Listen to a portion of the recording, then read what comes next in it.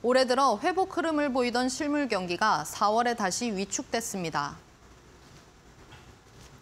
오늘 통계청 발표에 따르면 4월 전산업 생산 지수는 109.8로 전월보다 1.4% 감소했습니다. 이는 지난해 2월 이후 14개월 만에 최대 감소폭입니다. 건설업 생산은 늘었지만 공공행정과 관공업, 서비스업에서 생산이 줄었습니다.